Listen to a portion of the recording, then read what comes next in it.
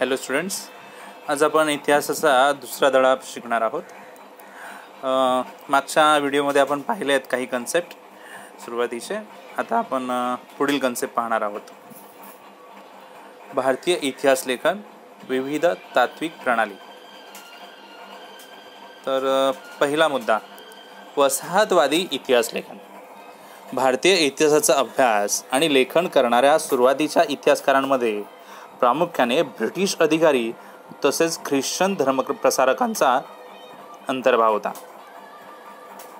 भारतीय संस्कृती गौण दर्जाची आहे. या पूर्वग्रहाचे प्रतिबिंब त्यांच्या लेखनात स्पष्टपणे उमटलेले दिसते. वसाहतवादी ब्रिटिश सत्तेच्या समर्थनासाठी त्यांच्या इतिहास लेखनाचा वापर केला गेला. एकोणीसशे बावीस ते एकोणीसशे सदतीस या दरम्यान प्रसिद्ध झालेले केम्ब्रिज हिस्ट्री ऑफ इंडिया या ग्रंथाचे पाच खंड हे वसाहतवादी इतिहास लेखनाचे ठळक उदाहरण आहेत. प्राच्यवादी इतिहास लेख. युरोपमधील अभ्यासकांमध्ये पूर्वेकडील संस्कृती आणि देश यांच्याबद्दल कुतूहल जागृत झाले होते. त्याबद्दल आदर कौतुक असलेले काही अभ्यासक त्यांच्यामध्ये होतेच.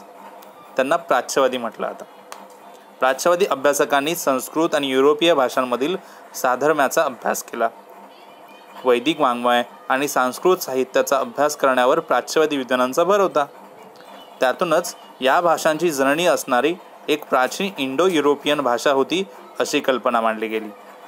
इसवी सन सतराशे चौऱ्याऐंशीमध्ये सर विल्यम जोन्स यांनी कोलकाता येथे एशियाटिक सोसायटीची स्थापना केली. त्याद्वारे प्राचीन भारतीय वाङ्मय आणि इतिहास यांच्या अभ्यासास चालना मिळाली. प्राच्यवादी अभ्यासकांमध्ये फ्रेडरिक मॅक्स म्युलर या जर्मन विभ अभ्यासकाचा प्रामुख्याने उल्लेख करायला हवा. त्याच्या दृष्टीने संस्कृत भाषा ही इंडो युरोपियन भाषा गटातील अतिप्राचीन शाखा होती. संस्कृत साहित्यात त्याला विशेष रस होता. त्याने हितोपदेश या संस्कृत ग्रंथाचा जर्मन भाषेत अनुवाद सुद्धा केला. तसेच the secret books of the east या नावाने पन्नास खंड संपादित केले. त्याने ऋग्वेदाचे संकलन करण्याचं काम केलं. ते सहा खंडांमध्ये प्रसिद्ध झाले आहे. त्याने ऋग्वेदाचा जर्मन भाषेत अनुवाद केला होता. अलीकडच्या काळात प्राच्य विद्यावंतांच्या लेखनामागील छुपे साम्राज्यवादी हितसंबंध प्रकाशात आणण्याचं काम एडवर्ड सैद या विद्वानाने केले. राष्ट्रवादी इतिहास लेखन. एकोणीसाव्या विसाव्या शतकामध्ये इंग्रजी शिक्षण पद्धतीमध्ये शिकून तयार झालेल्या भारतीय इतिहासकारांच्या लेखनामध्ये भारताच्या प्राचीन वैभवाचा अभिमान आणि भारतीयांची आत्मजाणीव जागृत करण्याकडे असलेला कल दिसतो. त्यांच्या लेखनास राष्ट्रवादी इतिहास लेखन असं म्हटलं जातं. महाराष्ट्रातील राष्ट्रवादी इतिहास लेखनास विष्णूशास्त्री चिपळूणकर यांच्यापासून प्रेरणा मिळाली. ब्रिटिश अधिकाऱ्यांनी लिहिलेल्या प्राचीन भारताच्या पूर्वग्रहदूषित इतिहासाला त्यांनी विरोध केला. अशा प्रकारे राष्ट्रवादी लेखन करणाऱ्या इतिहासकारांनी भारताच्या इतिहासातील सुवर्णकाळ शोधण्यासाठी खूप प्रयत्न केला. असे करत असताना प्रसंगी ऐतिहासिक वास्तवाची चिकित्सापूर्वक छाननी करण्याकडे दुर्लक्ष केलं गेलं. असा आक्षेपही त्यांच्यावर घेतला जातो. महादेव गोविंद रानडे रामकृष्ण गोपाळ भंडारकर विनायक दामोदर सावरकर राजेंद्रलाल मिश्रा रमेशचंद्र मुजुमदार काशीप्रसाद जयस्वाल राधाकुमुद मुखर्जी भगवानलाल इंद्रजी वासुदेव विष्णू मिराशी अनंत सदाशिव आळतेकर ही काही राष्ट्रवादी इतिहासकारांची नावे उदाहरणासाठी देता येतील. तुम्हाला माहिती आहे का? The rise of the Maratha power या ग्रंथात न्यायमूर्ती महादेव गोविंद रानडे यांनी मराठा सत्तेच्या उदयाची पार्श्वभूमी विस्ताराने मांडली. मराठी सत्तेचा उदय म्हणजे अचानक पेटलेला वनवा नसून त्याची सामाजिक सांस्कृतिक व धार्मिक क्षेत्रातील तयारी बराच काळ महाराष्ट्रात चालू होती.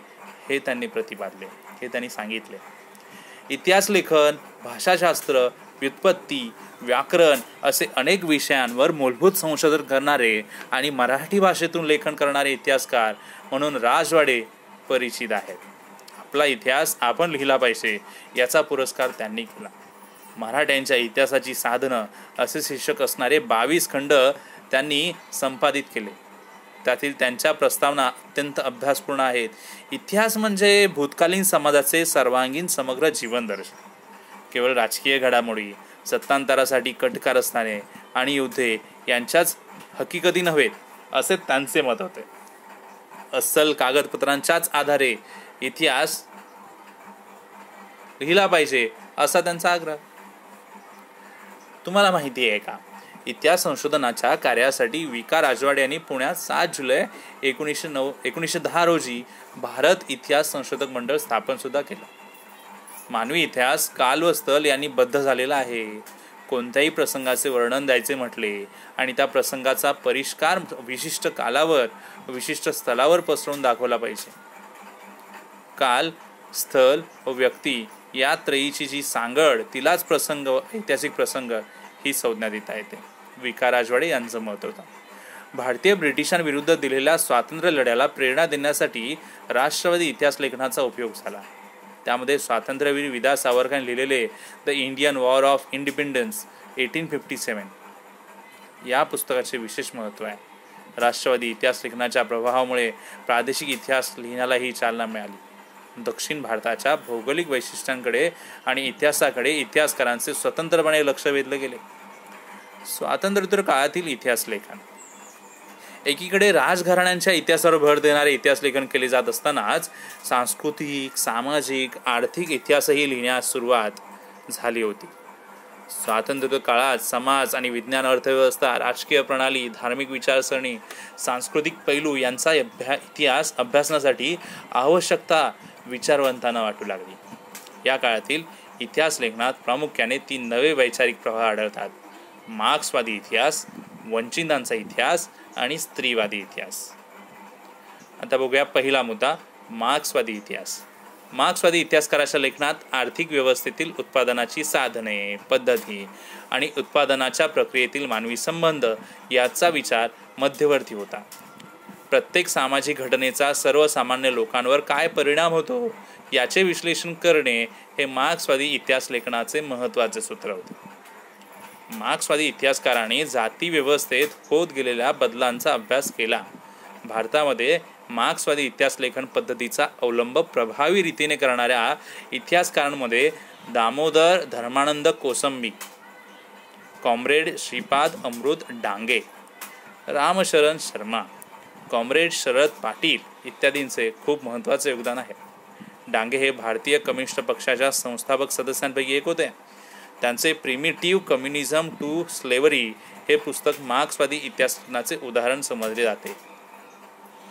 वंचितांचा इतिहास काय सांगतो बघूया. वंचितांचा इतिहास लिहिण्याची सुरुवात मार्क्सवादी इतिहास लेखनाच्या परंपरेतूनच झाली असं म्हणता येते इतिहास लेखनाची सुरुवात समाजाच्या तळाशी असलेल्या सर्वसामान्य लोकांच्या स्तरापासून करायला पाहिजे अशी कल्पना मांडण्यामध्ये अँटोनिओ ग्रामची या इटालियन तत्वज्ञानाचे स्थान महत्त्वाचं आहे. वंचितांचा इतिहास लिहिण्यासाठी लोकपरंपरा हे एक महत्त्वाचं साधन मानलं गेलं आहे वंचितांच्या इतिहासाला एक महत्त्वाची विचारसरणी म्हणून स्थान मिळवून देण्याचे महत्त्वाचे कार्य रणजित गुहा या भारतीय इतिहासकाराने केले. परंतु त्यापूर्वी भारतामध्ये वंचितांच्या इतिहासाचा विचार महात्मा ज्योतिराव फुले आणि डॉक्टर बाबासाहेब आंबेडकर यांच्या लेखनातून दिसतो. महात्मा फुले यांनी गुलामगिरी या पुस्तकात शूद्रातिशूद्रांचा इतिहास नव्याने उलगडून दाखवला. धर्माच्या नावाखाली स्त्रिया शूद्र व अतिशूद्र यांच्या होणाऱ्या शोषणाकडे लक्ष वेधले. भारताच्या सांस्कृतिक आणि राजकीय घडणीत दलित वर्गाचा मोठा वाटा आहे. भारताच्या वसाहतवादी आणि राष्ट्रवादी इतिहास लेखनात त्याकडे दुर्लक्ष केले गेले. डॉक्टर बाबासाहेब आंबेडकरांनी ही गोष्ट केंद्रस्थानी ठेवून सतत लेखन केलं.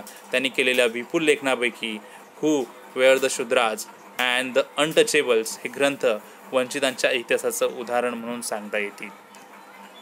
तिसरा मुद्दा स्त्रीवादी इतिहास. भारतीय इतिहास लेखनाच्या क्षेत्रात सुरुवातीस प्रामुख्याने पुरुष अभ्यासक कार्यरत असल्यामुळे भारतीय इतिहासातील स्त्रियांचं स्थान आणि त्यांची कामगिरी हा विषय तुलनेने दुर्लक्षितच राहिला. त्यावर अधिक प्रकाश टाकणं गरजेचं होतं हे स्त्रीवादी इतिहासकारांपुढे पहिलं आव्हान बनलं. तसंच स्त्रियांनी निर्मिलेल्या साहित्याचं संशोधन आणि संकलन करणे हे आवश्यक होते. इतिहासातील स्त्रियांच्या स्थानांचा विचार नव्याने होणे आवश्यक होते. एकोणीसाव्या शतकात स्त्रियांविषयी लेखन करणाऱ्या लेखिकांमध्ये ताराबाई शिंदे नाव अग्रणी आहे. त्यांनी पुरुषप्रधान व्यवस्था आणि जातीव्यवस्था यांना विरोध करणारे लेखन केले. सन अठराशे ब्याऐंशीमध्ये प्रसिद्ध झालेले स्त्री पुरुष तुलना हे त्यांचे पुस्तक भारतातील पहिले स्त्रीवादी लेखन समजले जाते.